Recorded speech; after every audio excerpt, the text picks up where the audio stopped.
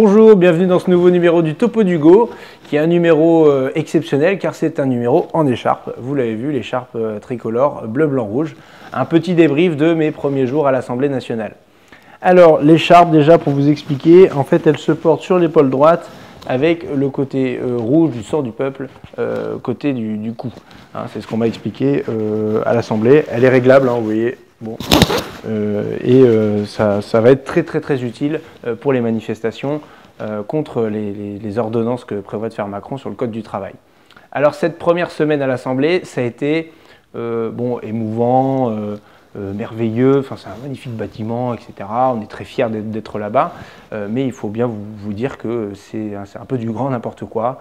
C'est la grande cour de récréation, et vous l'avez peut-être vu le mercredi à l'Assemblée nationale, où on a eu une séance jusque quasiment 1h du matin euh, pour désigner euh, une douzaine de personnes qui sont au bureau de l'Assemblée nationale, qui gèrent un peu le budget de l'Assemblée nationale, euh, les questions de buvette aussi, on y reviendra dans une, dans une prochaine vidéo. Euh, voilà, et tout ça nous a pris je sais pas combien d'heures, parce qu'il y a eu une embrouille entre les mecs de LR, les républicains, et puis ceux des constructifs, vous savez, les républicains qui sont quand même vachement pro-Macron. donc tout ça s'est transformé en énorme AG étudiante, avec des votes du grand n'importe quoi, bref. Donc euh, c'est une entrée en matière qui était un peu fatigante euh, parce qu'on avait prévu de faire d'autres choses hein, le, mercredi après-midi.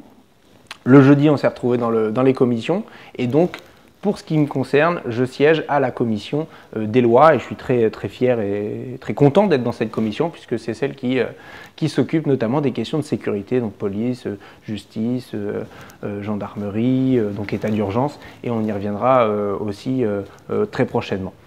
Euh, donc voilà, cette première semaine à, l'Assemblée nationale était hyper active et en plus on nous prévoit euh, quand même un, agenda hyper chargé.